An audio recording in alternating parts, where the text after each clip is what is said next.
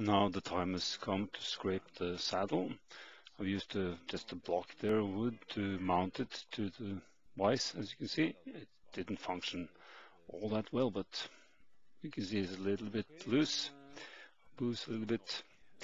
Uh, however, uh, scraping here, I just make some passes on the inside of um, to the, let's say the, the crest of the dovetail there, because there is a tendency to scrape uh, less there. So you have to really make an effort to do that. Otherwise, you will of course tilt the flat towards the outside, downwards towards, towards. And then we get a chance to train or practice with the pull scraping method with the blade uh, ground a little bit different. The angles are different. As you can see, I use quite a lot of force, but still the, let's say the efficiency of each stroke and the, and the speed is uh, quite low.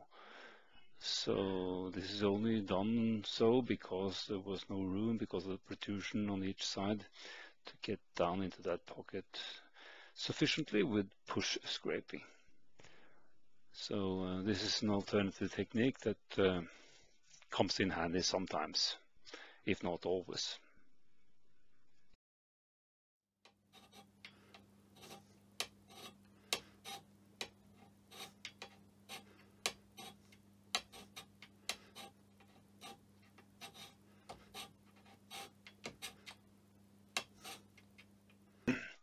But of course, I use the biax whenever possible because this is much more efficient. So uh, just short stroke uh, so that you don't bump into the dovetail too much and then uh, that's much more cost-effective method than uh, the pull scraping.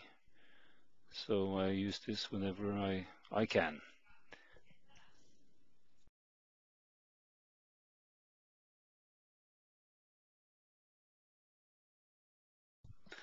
So it starts getting a decent finish, uh, but as we shall see, it's still the inside. Of course, um, I used a sled here to prove each side playing parallel to one another, but um, here is where a Kingway will really come in handy. And as I said, uh, when we started testing with um, uh, with the cross slide, the undersides as a template, it soon revealed itself to be uh, shy on the inside, so the, the surfaces tip down towards the outside. So then, of course, corrective measure would be, or have been, to use step scraping, so harder towards the inside. So lesson learned all the time.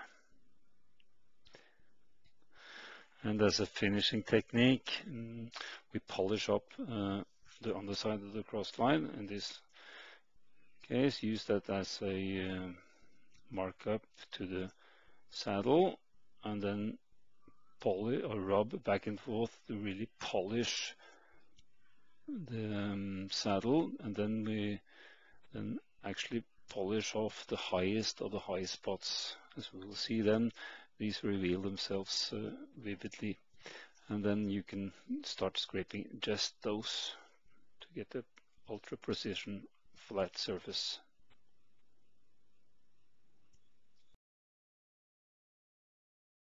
As you can see, part of the surface here, searching for these uh, shiny spots, you can see them here.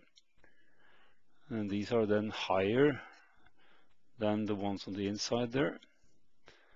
Also uh, distinguished by the fact that they have a sort of a, a crest, a darker side of each spot. So um, they are easily identified really, and these are the highest of the high spots. Now I assembled the two pieces together and then uh, inserted the gib, which is too shallow. So this is now backed up by a two tenths of a millimeter shim. So now from another angle, I assembled uh, again, snugged up the gib. And uh, this is now tight and snug. And um, if you then see, yeah, there's no rock and then I've measured the play afterwards then of course revealing the the blue after bluing up. It all is smooth and nice. I had to correct it a little bit to get it that way, but anyway.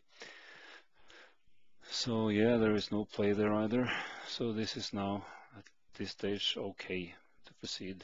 Then with with the screw and the assembly there, and also of course then with testing.